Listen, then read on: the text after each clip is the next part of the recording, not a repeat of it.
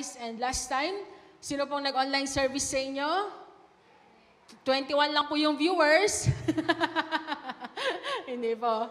Ah, siguro yung iba pinanood nila ah, sa mas late na oras. But I believe na ang mga anak ng Diyos ay patuloy na nag-aaral ng kanyang mga salita. Amen?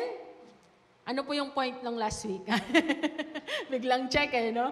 Okay, so na mag-usapan natin yung ah, hypostatic union at ngayon naman mga kapatid, pag-uusapan natin ang huli sa mga apat na topiko sa persona ng ating Panginoong Yesus, the virgin birth. At ang teksto po natin na matatagpuan sa Isaiah chapter 7 verse 14. Sabi po dito, dahil dito si Yahweh mismo ang magbibigay sa inyo ng palatandaan. Maglilihi ang isang dalaga at magsisilang ng isang sanggol na lalaki at tatawagin sa pangalang Emmanuel. Dalawang punto ho ulit ang ating pag-usapan, katulad po ng mga nakaraan. Atin pong halongkatin ang mga tinuturing na enemies of the truth at pag-uusapan din po natin ang mga evidence in the, in the text sa Biblia na atin pong mababasa. So, karamihan po sa mga Pinoy ay naniniwala na ang Biblia ay mahalagang libro. Amen po ba? Sino pang may Biblia ngayon? Di ba? Mahalaga po talaga, no? Iniiwan na lang natin sa bahay. Ang halaga talaga niya. okay. Okay. So, ang Biblia ay mahalagang libro yan. Okay. So, hindi man tanggap ng iba na ito ay salita ng Diyos, bihira pa rin kung meron mang mga Pinoy na makikita mo na itinatapon ng Biblia o kaya ay sinusunog ang Biblia. Di po ba? Kadalasan po, ito ay ating iginagalang, ito ay ating binibigyan ng extra na pag-aalaga, katulad ng pagtatago sa istante ng sampung taon. Mga ganun, extra pag-aalaga talaga yun, no? Ah, dahil nga kinikilala natin that this book is the Holy Bible or yun pong banal na kasulatan, Holy Scripture. Gayun pa man, kahit na maraming naniniwala na ito ay espesyal na libro o ito ay Holy Bible, banal na kasulatan, bihira lamang po ang tunay na nagtitiwala sa nilalaman nito. Nakakalungkot maging minsan ng mga Kristiyano, dumarating tayo sa punto ng buhay natin na tila ba wala nang dating. Yung, yun, yun hong pagbabasa ng Bible, yung pagtitiwala sa mga pangako ng Diyos na nakasulat sa Bible, na para bang ang pagdalos sa mga gawain kung saan mayroong pag-aaral ng salita ng Diyos ay option na lang. Pwedeng gawin, pwedeng hindi gawin. Pinaka nakakalungkot na, ayun ho mga Kristiyano na tuluyang tinalikuran ang pagtitiwala at pagsasaliksik ng kasulatan. Ngayon, kung bibigyan natin yung sarili natin ng grado, kung gaano kainit yung pagtitiwala natin sa salita ng Panginoong Diyos from 1 to 10, ilan kaya yung grado na mabibigay natin sa sarili natin? Pasado ba? Ah, Sa gitna lang, naniniwala na ako sa Bible pero hindi ako masyado nagbabasa. Eh, Okay na yung every Sunday nakikinig ako. Di ba? Or, or bagsak talaga, na talagang hindi tayo nagtitiwala sa sinasabi ng Bible. So, sa atin pong pagsisimula, kanina, napag-usapan natin yung ilan sa mga pangako ng Panginoong Diyos na tila ba, parang nakakainip na antayin yung katuparan sa buhay natin. Ano? So, sa oras na ito, tayo po ay pumunta sa panalangin. Ipanalangin po natin yung mga naging sagot natin kanina at hingin na rin po natin ang tulong ng Panginoong Diyos upang maunawaan natin ang mensahe sa umaga na ito. Tayo pong lahat ay manalangin. Let's express our prayers to the Lord. Ano yung mga naging answer mo kanina, kapatid? Ipanalangin mo yan sa Panginoon.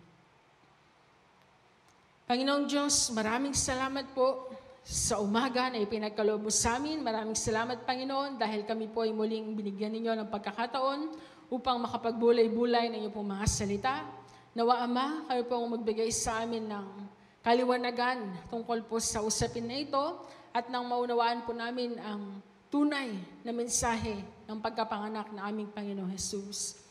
Panginoong Diyos, sa oras na ito, kinikilala po namin na marami po kaming mga limitasyon, marami po kaming mga kahinaan at maraming pagkakataon, Lord, na hindi po namin kinilala ang salita ninyo at ang mga nilalaman nito sa aming buhay. Ngunit sa oras na ito, Panginoong Diyos, muli, muli, po ninyo kaming paalalahanan at muli po ninyo kaming turuan. Salamat, Ama, maging po sa bawat kapatid nandito po ngayon at mga kapatid na nakasama namin sa online. Salamat po sa kanilang buhay at sa kanila pong hangarin na patuloy na mag-aral po yung mga salita. Nawawa, kayo po mag-bless, Lord God, sa amin as we continue to study your word. Thank you, Father God.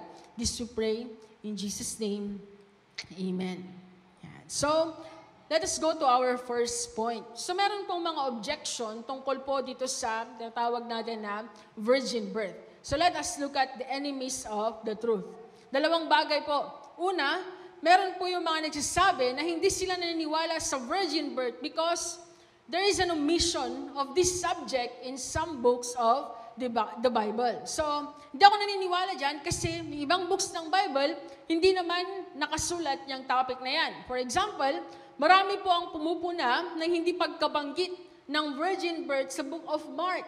Dahil kung tutusin, ang Book of Mark, yan po ang pinakaunang ah, nasulat sa apat na Gospels. At yung Book of Mark, pinaniniwalaan na ginamit upang maging basihan ni Matthew at saka ni Luke sa kanilang pagsulat.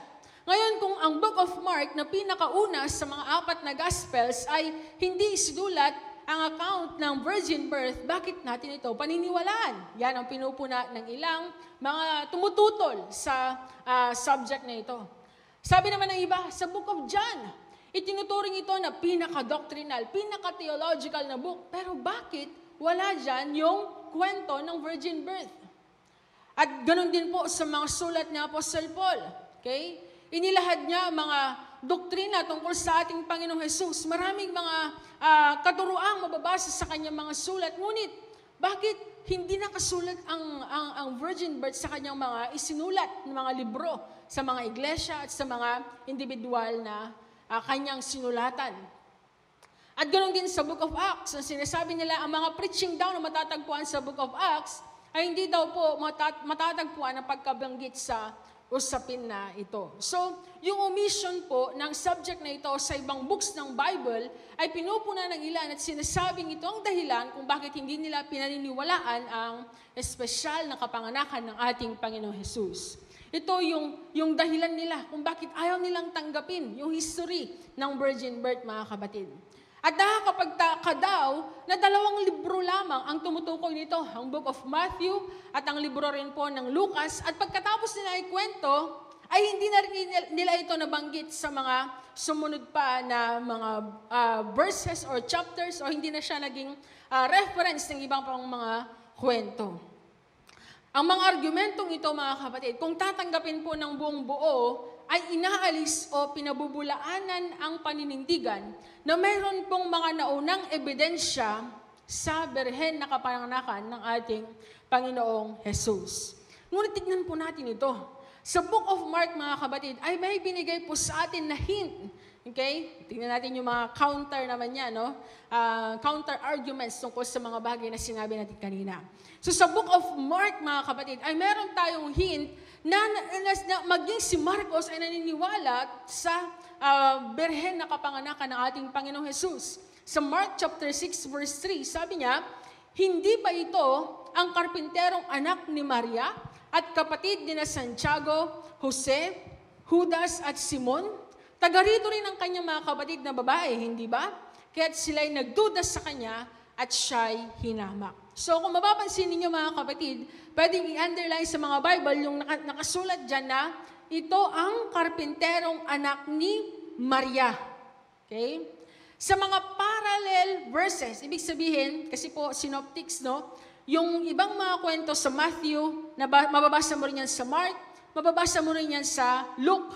At ah, yung mga parallel na verses po ng Mark chapter 6 verse 3, which is makikita natin sa Matthew chapter 13 verse 55 and Luke chapter 4 verse 22, ang nakasulat po dyan ay hindi ba ito ang anak ni Jose? So sabi ni Marcos, hindi ba ito ang anak ni Maria? Ang sabi naman ni Matthew at ni Lucas, hindi ba ito ang anak ni Jose? Bakit kaya ang sinabi ni Marcos ay Maria, ang sinabi naman ni Mateo at Lucas ay Jose? Na, maingat po si Marcos sa kanyang pagsulat sa kanyang libro, okay? Maingat siya ah, sa kanyang pagkakasulat sa topiko ng pagkapanganak ng ating Panginoong Yesus dahil alam niya na sa kanyang libro ay hindi niya isinulat ang genealogy ni Jesus Christ. Okay? Ngunit kinikilala niya na si Jesus ay anak ni Maria. Samantalang si Matthew naman at saka si Lucas ay aware sila na nakasulat sa bungad pa lang ng kanilang mga libro ang genealogy ni Jesus Christ. Kaya, madali lang para sa, sa kanila na sabihin na anak ni Jose. So makikita po natin mga kapatid na hindi kinontra ni Marcos ang katotohanan na si Jesus, ang ating Panginoong Jesus, ay anak ni Maria. Okay. Ganon din po sa Book of John. Kaya walang nakasulat dito tungkol sa virgin birth ay uh, dahil ang libro po na ito ay theological. Okay? At hindi po historical. At makikita na sa simula pa lang po ng libro na ito, ay andyan na po yung encounter ni Jesus Christ kay John the Baptist. Kumbaga, wala pong uh, narrative account sa mga ganap sa buhay ng ating Panginoong Yesus bago siya mag-30. Okay? At sa libro naman po ng mga gawa, okay, o sa libro po ng mga sinulat ni Apostol Pablo, I should say, kadalasan po na uh, dahilan ni Apostol Pablo kung, Pablo kung bakit po siya uh, sumusulat sa mga iglesia, ay dahil meron po siyang ina-address na mga problema. Example, sumulat siya sa uh, Church of Galatians. Bakit? Dahil ang mga Kristiyano doon ay nagtatalo sila kung paano baligtas. Sa pamamagitan ba ng law? Sa pamamagitan ba ng grace? Sumulat siya sa Church of Corinthian dahil sa dami ng mga problema doon, no? Uh, mabasa niyo po dyan yung sexual immorality, pag, pagkain ng mga uh, pagkain inaalay sa mga Diyos-Diyosan, madami pong mga uh, topics na inaddress sa Apostle Paul. At ganun po yung kanyang ginagawa kapag siya ay sumusulat sa mga churches at kapag siya ay sumusulat sa mga individual. Merong problema. Kaya nga hindi sinulat o nabanggit na Apostol Pablo ang usapin na ito dahil noon po ay hindi naman pinagtatalunan ang usapin ng virgin birth, mga kapatid. Hindi pinag-aawayan ng mga iglesia ito noon dahil tanggap nila ito na katotohanan. In short, mga kapatid, walang nagmumungkay. Wala po sa mga ito ang magsasuggest sa atin na ang virgin birth ay hindi totoo sa kabila ng pananahimik na maraming authors ng New Testament sa bagay na ito. So, uh, X, no, yung sinasabing omission of the subject in some books of the Bible. Pangalawa, na enemy, mga kapatid of the truth, is that yung uh, hindi naniniwala ang iba dahil sa one human parent. Isa lang daw ang magulang ni ng ating Panginoong Jesus. So, marami pong nagdududa sa pagiging tao, fully man ni Jesus Christ, yeah, dahil isa lang po ang kanyang magulang. Maaring ito ay hindi matanggap ng iba dahil kinukontra nito ang natural na paglipat ng salin lahi, yung pagpasa ng generation to generation. Okay? Ngunit kung ating alalahanin, si Adan at si Eva ay wala din pong nauna sa kanila. Pero nung sila ay nilikha ng Panginoong Diyos, they are fully man. Si Adan, wala naman pong nauna sa kanya kung saan niya makukuha yung kanyang pagiging tao. Ngunit siya ay kinilalang fully man, mga kapatid. Mara, maaring gamitin ng mga tumatanggi sa kapanganakan ng ating Panginoon Yesus ang hindi pagkakaroon ng male factor sa kanyang espesyal na kapanganakan. Pero kailangan nating tandaan mga kapatid na walang imposible sa Diyos. Okay? Katulad na lamang ng mga miracles, di po ba? Okay? Depende yan sa worldview ng isang tao. Kung naniniwala siya na pwedeng gumawa ang Panginoong Diyos parang isang bagay ay mangyari, magkaroon ng miracle, then there's miracle. Kung ang isang tao, dinesisyonan naman na niya, na walang coincidence, walang miracle, hindi pwedeng masira ang natural law, then hindi talaga siya makukumbinsing maniwala sa mga miracles katulad nito. In the Old Testament, nagsalita ang isang donkey. In the Old Testament, hinati ng Diyos ang dagat. In the Old Testament, umulan na mana. Di ba? Ang daming mga miracles na ginawa ng Panginoong Diyos.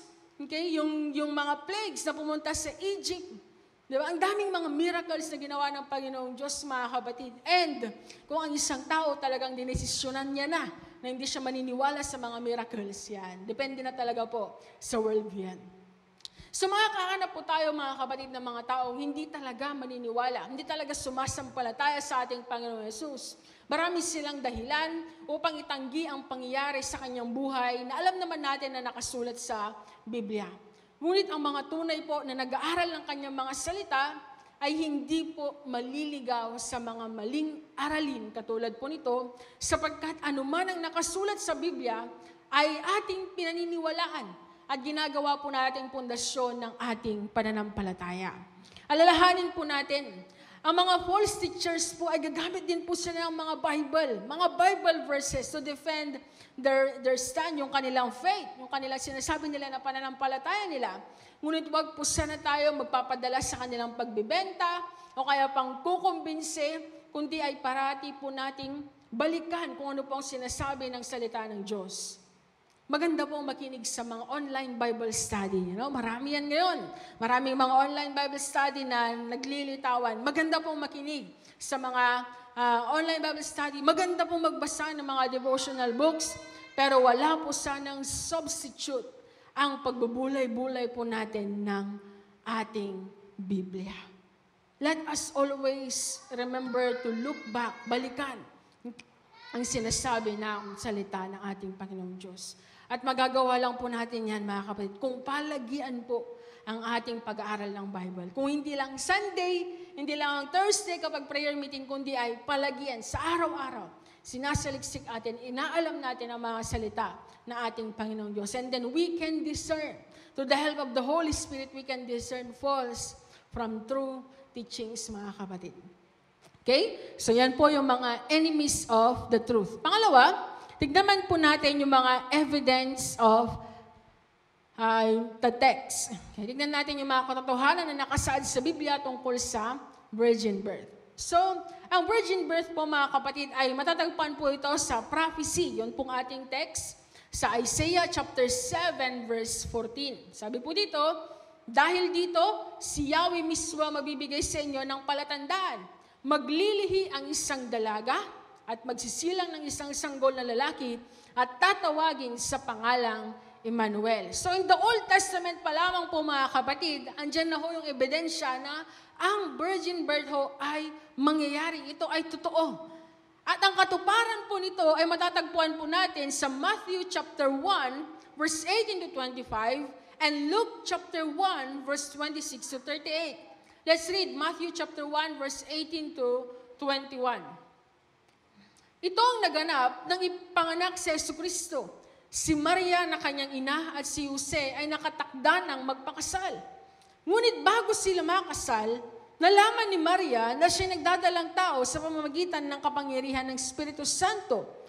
Subalit dahil isang taong matuwid si Jose, na kanyang mapapangasawa, at ayaw nitong malagay sa lubos na kahiyan si Maria, binalak niyang hiwalayan si Maria ng palihim Ngunit habang pinag-iisipan ito ni Jose, nagpakita sa kanya sa panaginip ang isang anghel ng Panginoon. Sinabi nito sa kanya, Jose, anak ni David, huwag kang matakot na pakasalan si Maria, sapagkat ang sanggol na dinadala niya ay mula sa Espiritu Santo. Magsisilang siya ng isang batang lalaki at Jesus ang ipapangalan mo sanggol sapagkat ililigtas niya ang kanyang bayan sa kanilang mga kasalanan. So there's a prophecy in the book of Isaiah at merong fulfillment ng prophecy dito po sa book of Matthew. At ganoon din po mababasa natin sa Luke chapter 1 verse 35, sumagot ang anghel, sa iyo ang Espiritu Santo at mapapa sa ilalim ka sa kapangyarihan ng kataas-taasang Diyos. Dahil dito, ang isisilang mo'y banal at tatawaging anak ng Diyos. So napakaliwanag po dito sa kasulatan mga kabatid na ang, ang pangyayari po ng kapanganakan ng ating Panginoong Yesus ay totoo. Totoo sa kung ano ang naiprophesy sa Isaiah chapter 7 verse 14. At dahil tinatanggap natin na ang Biblia ang pundasyon ng ating pananampalataya, at tinatanggap natin na ang Biblia ay totoo, at tanging uh, source of all truth na tinatanggap po natin, then we must believe that the virgin birth is true. Amen. Amen po ba? We should accept ng buong buo yung miraculous birth ng ating Panginoong Yesus. Hindi natin pwedeng baliwalain ang kautusan o hindi natin pwedeng baliwalain ang kwento na ito dahil lamang sa puna ng iba na ito ay bihirang mabasa sa Biblia. Okay? Katulad po ng baptism, di ba? Bihira po ito mabanggit sa Biblia. Ngunit hindi natin pwedeng baliwalain ang katotohanan na mahalaga ang baptism dahil mismong si Jesus Christ ay ginawa niya ito. Mismong si Jesus Christ ang nagturo nito bago siya mag-ascend sa heaven. Huling habilin niya, di ba? Go, make disciples, baptize. So hindi niya lang ginawa, itinuro pa niya. So hindi ibig sabihin na dahil bibihira ito na mabasa sa Bible, ay hindi na ito totoo. As long as andyan yan sa Biblia mga kapatid, ito ay tatanggapin natin lang buong buo. Sabi nga, partial obedience is disobedience. Partial belief then is unbelief. Kung hati-hati lang yung pananampalataya, ah, Lord, maniniwala lang ako sa New Testament. Yung Old Testament kasi, Lord, old na yan eh. New na kasi ako, new generation na ako eh. Okay? Hindi pwedeng partial. Partial belief lang. Oh, Lord, gospel lang ako ah. Lord, Matthew lang ako ah. Hindi pwedeng ganun. There are groups na ganun po. Book of Matthew lang tinatanggap nila. Dahil nga, uh, na, napag-usapan na natin yan, yung adoptionism, di ba? So, um, napatig. Nga, aklunan tayo kakabsat, hindi ito yung kinapodun. I believe kakabsat. Amin tayo nga dati ito takit, awan iti panagduwa-duwa tayo iti sa iti apo. Awan iti panagduwa-duwa tayo iti dito nga kinapudno. Iti takal lang nga saludsod tatakang sat. Anya iti kay papanan na daytoy tata, iti biyag tayo. Ano ang significance nito sa atin ngayon bilang mga tagasunod ng ating Panginoong Diyos? Tatlong sagot po ang binigay sa atin ni uh, Wayne Grudem, isa pong theologian na uh, sumulat po ng libro, Systematic Theology, na sinusundan din po natin. Tatlo pong bagay ang kanya pong binigay na significance ng virgin birth. Una mga kapatid is that the virgin birth of Jesus illustrates God's gracious work on our behalf. Iti kano pan na kaya nakakabsat ni Apo Jesus, babayan iti berhen, ket mangipalagip kada tayo, iti enlepas, iti parabor iti Diyos, iti biyag tayo. Anya iti naramidan iti parabor, iti biyag tayo. Panakay salakan kakabsat niya. So, sa simula pa lang, actually, yung prophecy, hindi lang nagsimula sa Isaiah chapter 7, verse 14. Ito pong prophecy ng virgin birth, mga kapatid, ay matatagpuan na natin. Genesis chapter 3, verse 15b, nandyan na ho yan. Na ang sabi niya, ang binhi niya, ang dudurog sa iyong ulo. Okay? Ito na nagbibigay si Jesus ng punishment niya sa mga uh, sumuway, si Adan, si Eva, at saka sa Ahas. Diba? Binigyan niya ng curse. And then, kahit na may curse, meron pa rin promise. At yung promise na yon, mga kapatid, ang binhi na yon, ang seed na yon, nadudurog sa ulo ni Satanas. Okay? O sa penalty ng kasalanan, ang kamatayan ay ang ating Panginoong Jesus. Doon pa lang po ay pinangako na ng Panginoong Diyos ang kaligtasan. Kaya naman sa pamamagitan ng Diyos at hindi sa pamamagitan natin na tayo po ay maliligtas.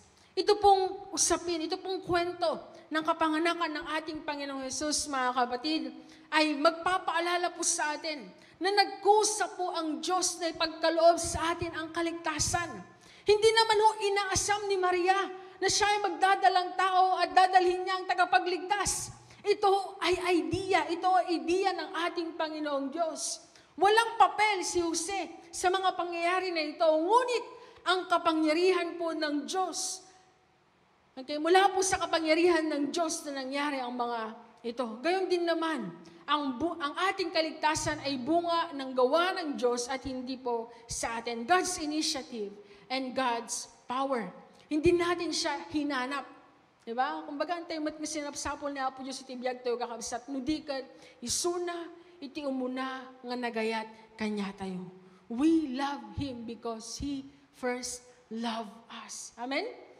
Nagkusa ni Apo Diyos kakabsat ngayon parik na kanya tayo iti dito nga ayat na. Dahito iti palpalagip kanya tayo iti pan na ni Apo Jesus. Kaya wala tayo kahit konti man lang, kahit konti man lang na kontribusyon sa ating kaligtasan. Ang contribution lang siguro natin yung kasalanan natin, no? Which is hindi naman talaga kontribusyon. Dahil kung hindi ka nagkasala, hindi ka mamamatay, hindi ka liligtas. Pero dahil lahat naman tayo ay nagkasala, then wala talaga tayong kontribusyon sa ating kaligtasan, kundi ito ay gawa ng ating Panginoong Jesus. Galatians chapter 4 verse 4 to 5. Ngunit nang sumapit ang takdang panahon, isinugo ng Diyos ang kanyang anak. Isinilang siya ng isang babae at namuhay sa ilalim ng kautusan upang palayain ang mga nasa ilalim ng kautusan. No? Ulitin ko po, namuhay siya sa ilalim ng kautusan upang palayain ang mga nasa ilalim ng kautosan. Sa gayon, tayo'y mabibilang ng mga anak ng Diyos. Meron ka bang bahagi sa kaligtasan mo? It is God's initiative and it is God's power na tayo ho ay naligtas. Pangalawa, na ibig sabihin po ng virgin birth sa ating buhay ngayon. The virgin birth enabled the union of full divinity and full humanity in one person. Iti kano pan nakayanak ni Apo Jesus kakabsat kat impalubos na, wano inaramid na nga posible, iti panagkaykaisa, iti kina Diyos, ken iti kina tao, iti may nga persona ni Apo Jesus. Ito po ang paraan na ginamit ng Diyos upang ibigay niya ang kanyang anak sa mundo. John 3.16. Kabisado naman po natin yon, di ba? For God so loved the world that He gave, ibinigay niya ang kanyang bugtong na anak. At kung may maisip man tayong paraan, ibang paraan para mapunta dito sa atin ang Diyos, ang, ang Diyos anak, lahat po ng ito ay hindi magiging sapat para mapagsanib ang Diyos at ang tao sa iisang persona. Siguro pwedeng iniisip natin, pwede na lang sana na sa heaven na lang siya naging uh, tao, and then bumaba na lang siya sa lupa, 33 years old na siya, and then diretso na siya doon sa krus. Okay? And then magkakaroon na naman tayo ng problema sa kanyang, uh, sa, sa usapin ng kanyang pagiging fully man, kung yun po ang ating uh, pamamaraan. Kung namang isipin natin na sana dalawa na lang yung kanyang uh, magulang. Okay? Magkakaroon na naman tayo ng problema sa kanyang pagiging fully God. So ano naman po yung maisip natin na paraan ay hindi po magiging sapat para mapagsanib ang fully God and fully man in one person. Kaya po mga kapatid, kung titignan po natin ang ginawa ng ating Panginoong Diyos, ma-appreciate po natin yung wisdom na, ni God. Kung paano ibinigay niya sa atin ang regalo ng kaligtasan sa pamamagitan ng pag-iisa ng human and divine nature ng ating Panginoong Jesus. Na ang kanyang full humanity ay napakalinaw sa atin dahil sa siya ipinanganak din tulad natin at ang kanyang full deity ay maliwanag dahil si Maria ay nagdalang tao sa pamamagitan ng kapangyarihan ng Espiritu Santo. Kaya nga mga kapatid, maging maingat din ho tayo. Maingat ho na isaalang-alang na uh, sa, sa mga pangyayaring ito, ay hindi po naging Diyos si Maria at hindi rin naging Diyos si Jose. Na kung ngayon ay tawagin ay Holy Family, na para sa ibang grupo ay sinasabing pamilya na magiging modelo ng mga pamilya ngayon o kaya holy family na kailangan ay sambahin natin katulad o katumbas ng pagsamba natin sa Diyos. Hindi po naging Diyos si Maria. Hindi po naging Diyos si Jose, mga kapatid. Ang pangyayari po na ito, uh, the virgin birth, mga kapatid, ginawa niya pong posible ang pagkakaisa ng pagka-Diyos at pagiging tao ng ating Panginoon Yesus sa isang persona. Okay? And number three, na significance nito sa atin. The virgin birth also allows Christ to be fully human without acquiring sin. So, iti kano, uh, panakayanak ni Apo Jesus kakabsat, nagbalin nga tao ni Apo Jesus ng saan nga nagbasol. Okay? Kasi tinapagadalan tayo kadagiti naglabas kakabsat. May papaniti doktrina, iti basol, when no sermon nga, no malagipyo, the enemy within. Yeah? Okay. So napag-usapan natin na kas, iti, kas may nga tao, natawid tayo, kabsat, dadya kabaulan, nga agbasol. Ngam saan nga dadya basol, dinatawid tayo, nya? Okay, no di kat dadya kabaulan nga agbasol. Nagkasala, uh, kakayahan po natin na magkasala mula, ng, mula po sa ating unang ama at yun nga po ay si Adan.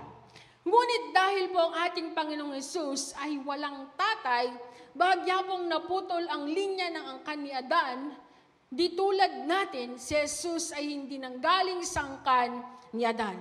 Makakatulong po ito sa atin upang maintindihan natin kung paano ang kasalanan o ang korupsyon na nasa tao ay hindi po matatagpuan sa ating Panginoong Jesus. Ang idea po na ito ay mapapansin natin sa sinabi ni Angel Gabriel sa Luke chapter 1 verse 35. Sabi po dyan, sumagot ang anghel, sa sa iyo ang Espiritu Santo at mapapasa ilalim ka sa kapangyarihan ng kataas-taasang Diyos. Dahil dito, ang isisilang mo'y banal at tatawaging anak ng Diyos. So dahil pang pagdadalang tao ni Maria, mga kapatid, sa pamamagitan ng banal na Espiritu, naka-highlight po diyan ng isisilang din po niya ay banal at tatawaging anak ng Diyos. Hindi naman po ibig sabihin na ang kasalanan po ay nanggagaling lang sa tatay. No, baka malungkot naman yung mga tatay dito. Hindi po ganoon ang ibig sabihin na nanggagaling lang sa mga tatay. Okay? Saglit lang po. Nawala. Okay.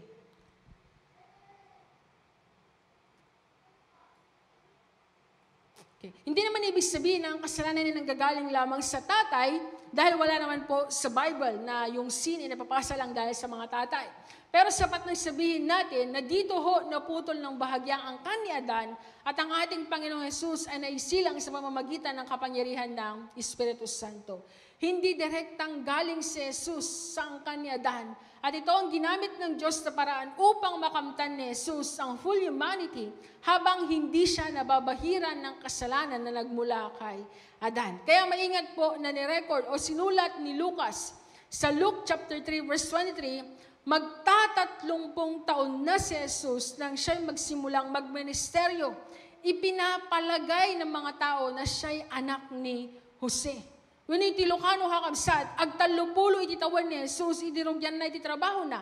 Imbilang dagiti tao, nga iso iti anak ni Jose, nga anak ni Eli. Okay, so, clear, ay di pa nang record ni Lucas kakabsat, nga imbilang. When no, ipinagpalagay ng mga tao na siya ang anak ni Jose. Okay, so, ang usapin naman, bakit hindi siya na, nakakuha ng kasalanan mula kay Maria? Okay? Siguro kung isa ibang relihiyon, siguradong sasabihin na nila na dahil si Mama Mary ay wala ding kasalanan. No? Ngunit hindi po ito matatagpuan sa Biblia. Itinuturo po ng ilan ang, ang kung tawagin ay Immaculate Conception. Okay? Ngunit ito po ay hindi tumutukoy sa conception ni Jesus Christ, kundi ay sa conception daw po ni Maria sa sinapupunan ng kanyang nanay. Okay? Ngunit mga kapatid, wala ho sa Biblia ang passage o anumang passage na siya ay walang kasalanan. Ang makikita po natin sa Bible, sa New Testament, siya po ay itinuring someone who found favor with God. Luke chapter 1 verse 30. And in Luke chapter 1 verse 42, blessed among women. Pero hindi po nakasaad yan na siya ay walang kasalanan at siya ay nararapat din natin na sambahin. Okay? So sana po maliwanag sa atin na ang mga pangyayari po na ito ay hindi po ginawang Diyos si Maria, kundi po ay binigya o naidagdag ang humanity ni Jesus Christ sa kanyang pagka-Diyos.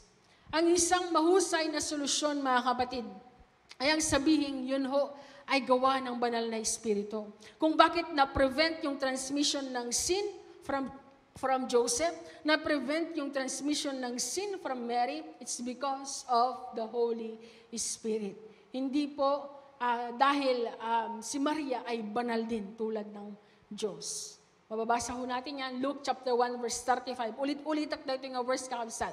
Tapno may paripirip, ngat inyanak ni Maria, kat banal. Okay? Ang isisilang may banal at tatawaging anak ng Diyos. Napatalagadan pa dito kakabsat iti Hebreo chapter 4 verse 15. Yang sabi po dyan, For we do not have a high priest who is unable to empathize with our weaknesses, but we have one who has been tempted in every way, just as we are, yet he did not sin. Dahito lang kakabsat iti pamanagnak, nga saan nga pulos nga namungan iti Diyos iti basol. Amen? Dahitoy kakabsat may katlo nga significance. Iti panakayanak ni Apo Jesus, pamalagip kanya tayo. Nga saan nga pulos nga namungan ni Apo Diyos iti basol. Saan na nga inayon iti kina siya sinuna. Iti anyaman nga mulit. Nagbiag kit di isuna kakabsat nga awan iti basol na. Ket babaon iti sakripisyo na isupay kit din iti nang parmek iti supapak iti basol nga iso ti patay tapno iti kasta sikakan siya kat madaan iti biyag nagnanayon. Napagbalaygan na iti patay kakabsat, kan iti amin nga supapak na.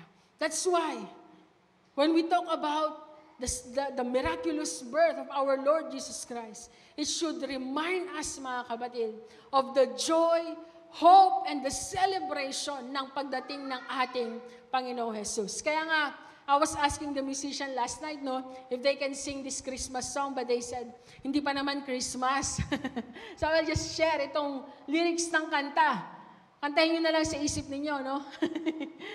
Heart the herald angels sing, glory to the newborn King. Peace on earth and mercy mild, God and sinners reconciled. So, niya di kayo papananakabsat, ti panakayanak ni Apo Jesus, so that God and sinners be reconciled. At da itirago, oh, iti amin na nasyon, niya, join the triumph of the skies with angelic hosts proclaim, Christ is born in Bethlehem.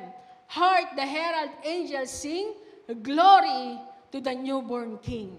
Meron pa? Hail the heaven-born Prince of God, Prince of Peace. Hail the Son of Righteousness.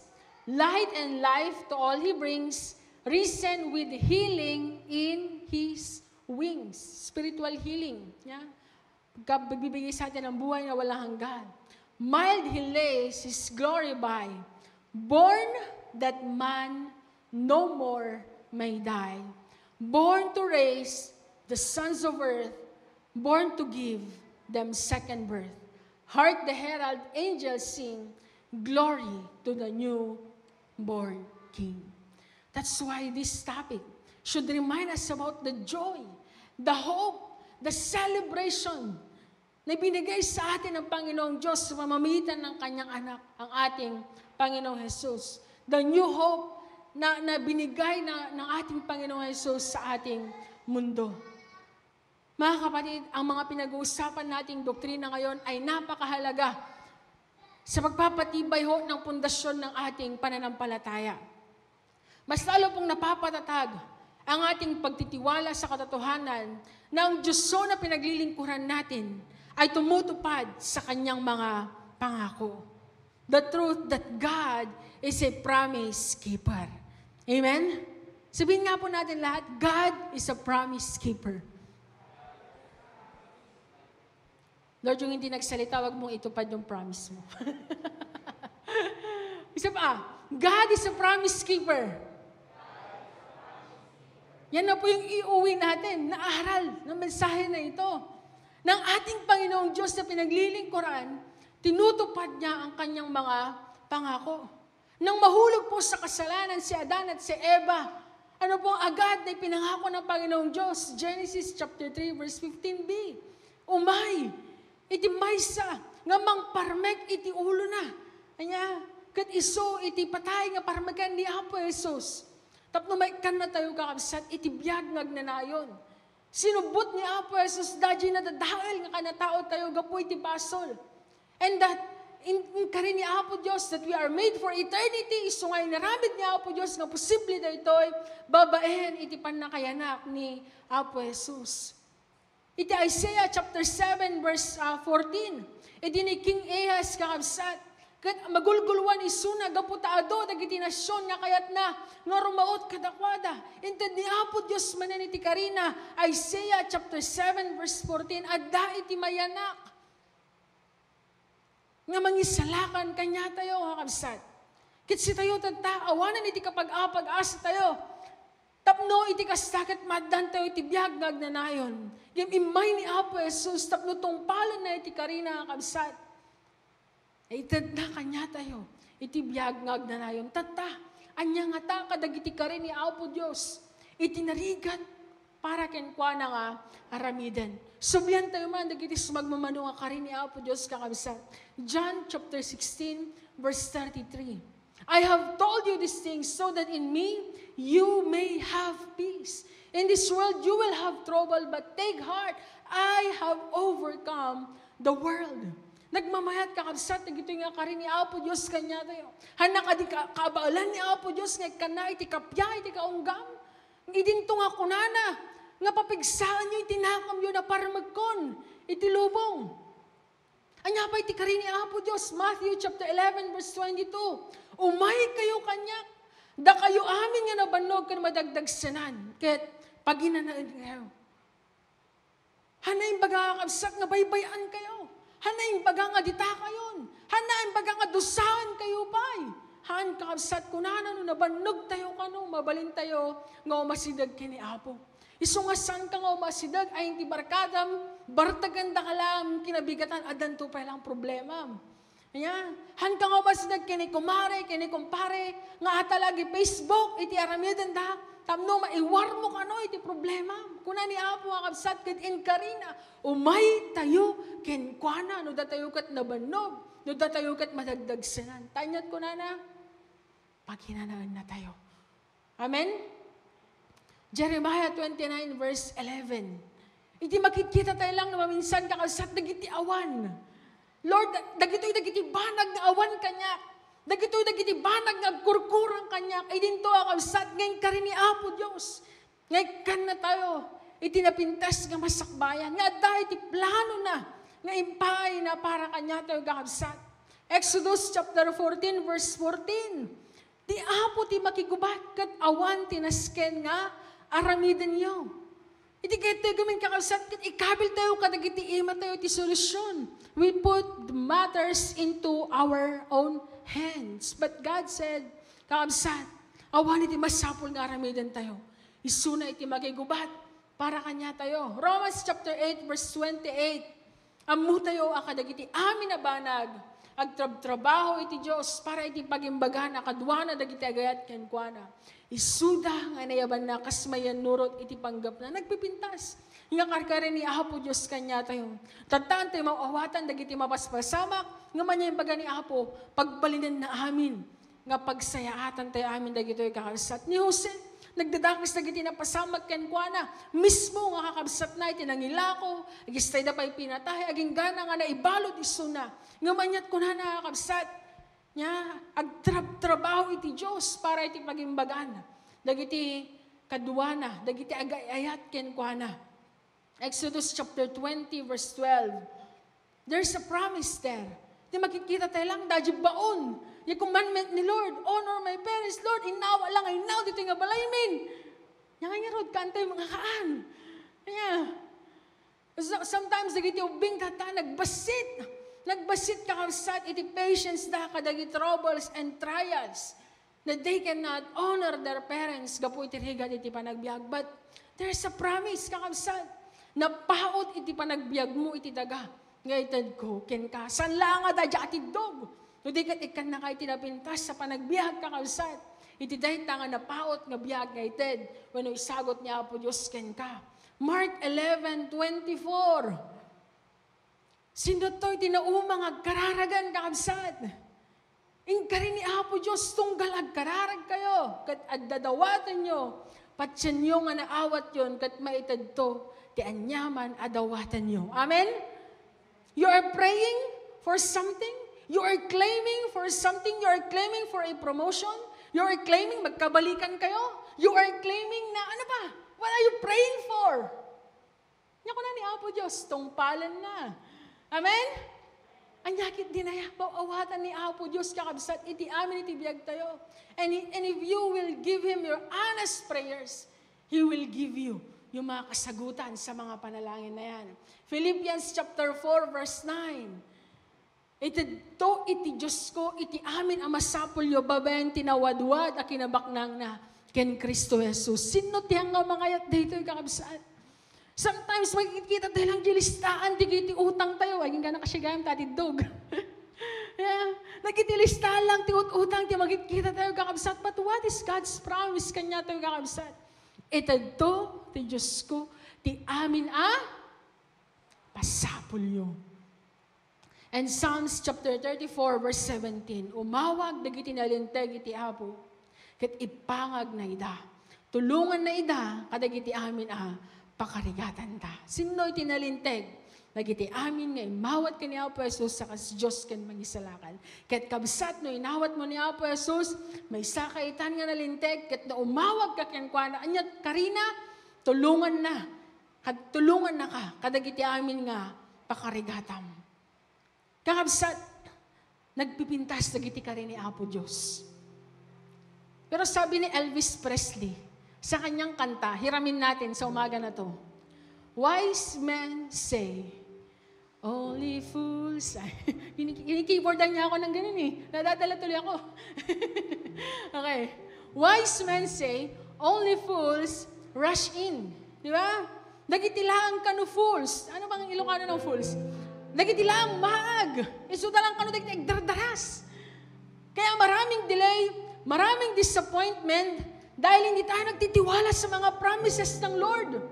Kaya minsan nasasaktan tayo dahil parang minsan mas magaling tayo sa Diyos. Ikaw na, bigyan ng jacket, ikaw na si God. Di ba? Minsan nakala natin mas magaling tayo kay God. Kaya nasasaktan tayo. Minsan, kapag sobrang excited tayo, sobrang kinikilig tayo, gusto natin gawin na natin kung ano yung sa tingin natin ay tama, kahit ito ay labag sa kalooban ng Diyos. Nanalo tayo sa isang taya. Lord, excited ako. Magta-times naman ako, Lord. Di ba? Minsan, nagiging impatient tayo sa mga katuparan ng promises ng Lord at nalilimutan natin ang kanyang kakayahan. And sadly, we're taking matters into our hands. Ilang beses na po ba nating nagawa ito? Ilang beses na ba nating nagawang magkompromiso para makuha yung gusto natin? Lord, minsan lang naman. Lord, ngayon lang naman. Lord, dito lang naman. Ilang beses na po ba nating nagawang magkompromiso para masatisfy yung mga sarili nating kagustuhan, mga kapatid?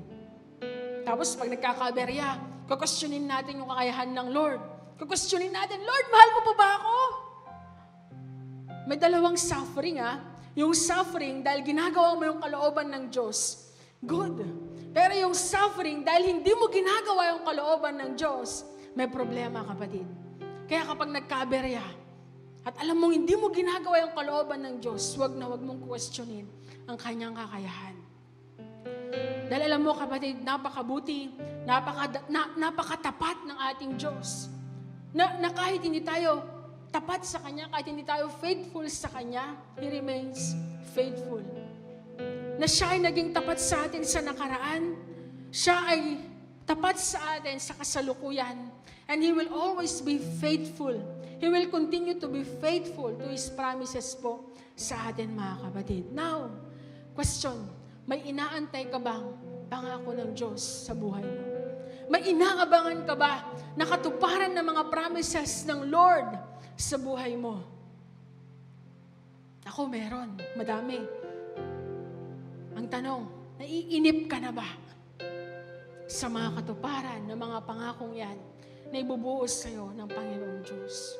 Maybe you've been waiting for weeks. Maybe you've been waiting for months, for years, for decades. Oftentimes, nagmamadali tayo and we want to do it our way. But don't rush, kapatid. Huwag kang magmadali. Don't be a fool. Hantay ako magbalin nga maag ngagdardaras kakabsat.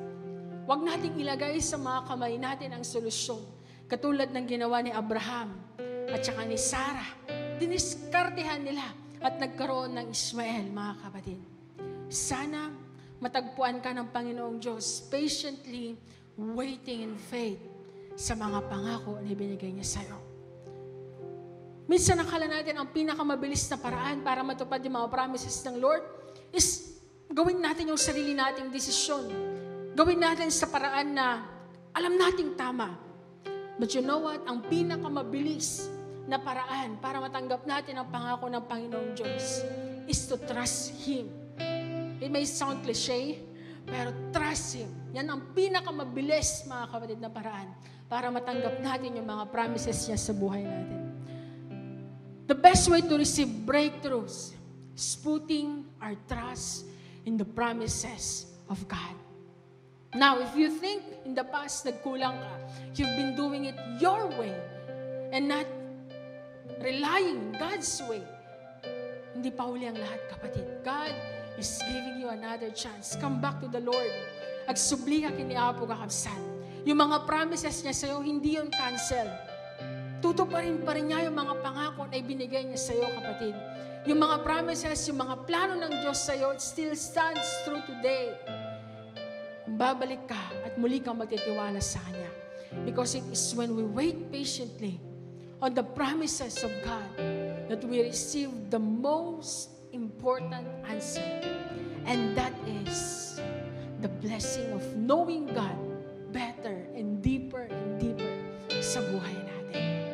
Nakabsat, niti kadaggalan nga kari, kat kabaulan na nga ipaay. Iti kari, iti biyag nga agnanayon. Iti kari, nga iti daytoy nga lubong kakabsat, in, impainan dagiti amin nga kasapulan tayo, physical, spiritual, emotional amin. Anya nga ta kakabsat, ilsan na nga matungpal. Joshua chapter 21 verse 45. Not one of all the Lord's good promises to Israel failed. Everyone was fulfilled. And if today you are here still doubting the ability of God to fulfill His promises in your life, remember this verse throughout the week. Meditate on this verse throughout the week. If you are able, read the book of Joshua throughout this week, and you will realize the truth of this verse that not one of all the good promises of the Lord failed. Everyone was fulfilled. And just as how it was fulfilled in the Israelites, God is able to fulfill that as well in your life as long as you keep on trusting in the Lord. Amen? Do you trust the Lord? Do you trust Him completely? Do you really trust the Lord in making decisions, in, in, in, in every step of the way? Do you really trust the Lord? Or do you still have this, I can do it my way? It is my decision. This is what I want. This is what I will do. Sabi ko mga kabisat, tad-adda ti panagtalag tayo, kini Apo Diyos Santa. Tamad tema namin kakabsat, at mapantayo ti panagkararan. Nodda ka dito itatahakabsat, kat amom iti biyag no, nga dakan iti punto iti panagpamatim ka ni Kristo. Kasla, agkurkurang iti panagtalak mo ken kuana ken kadagiti karina. Nawatak man kabsat, nagkararag ka lang ni Apo Diyos. Tumawat ka iti pamakawan. Nawatam nga tulungan na ka. Tapno agsubli, dadya bara, iti panagtaleg mo kadagiti karina. Agsubli, dadya mo, nga mangbasa kan mangutob kadagiti sa una, apakasarakan tayo kadagiti karina. Agkararag ka man tatakal sa and recommit your life to the Lord. Recommit your Bible reading. Recommit your quiet time. Recommit mo sa Kanya yung mga desisyon na kailangan mong gawin this week. Na kailangan mong gawin this week that will affect the next years of your life.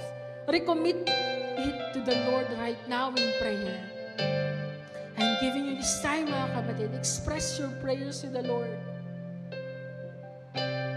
and express how you are willing to trust Him now more than yesterday, more than in the past. And if you think you failed God sa mga nakaraang araw, sa mga nakaraang buwan, sa mga nakaraang taon, recommit your life to the Lord. Panginoong Diyos, naririnig mo po ang panalangin ng bawat kapatirang nandirito ngayon. Wala po kaming maililihim sa inyo, Ama. Lahat po ng meron sa isip namin, lahat po ng nasa puso namin, nahayag po sa inyo. And this day, Lord, you have heard, Lord, how they are committing their trust to you. How they are committing, Lord God, their quiet time. How they are asking, Lord, for help para muli pong maibalik yung init ng pagbabasa po nila ng mga salita. Lord, help everyone who have expressed their prayers, Lord. And in times, Lord, nakakala po namin mas magaling kami sa inyo because we are deciding out of our own will, out of our own emotions, our own fears and guilt. Rebuke us, Lord. And remind us to keep on trusting on you. Just as how you fulfilled your promise, Lord God, the promise of salvation in the book of Genesis, in the book of Isaiah, in the book of Matthew, and now in our lives, just as how you have been fulfilling all these promises, Lord, we continue to ask. Sana, Panginoon, sa araw-araw, matutunan po namin na magtiwala lamang sa makapangyarihang Diyos na kayang tuparin ang kanyang mga pangako sa amin. Salamat po sa mensahe ninyo pinagkaloob sa amin sa araw na ito. Nawa Panginoon, nabigyan po ng linaw ang mga kabatiran namin naguguluhan. Nabigyan, Panginoon, ng kaganan ng loob ang mga kabatiran po namin nabibigatan. Muli pong napaalalahanan ang mga kapatid po namin na nakalimot po sa kakayahan ninyong tumupad ng mga pangako. Salamat, Ama, sa mga mensaheng aming napakinggan. Ito po ang aming panalangin sa pangalan ni Jesus. Amen and amen.